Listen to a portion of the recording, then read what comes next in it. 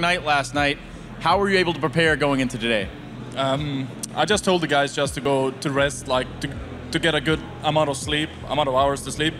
Um, and I don't know, like we just talked about the game yesterday, and yeah, thank you, Koosta. Um, but yeah, um, no, but I don't know, like we just talked and prepared, like how we're how we like to prepare the games. We're not talking too much about what the opponents are doing. Maybe we're just talking a little bit, but yeah.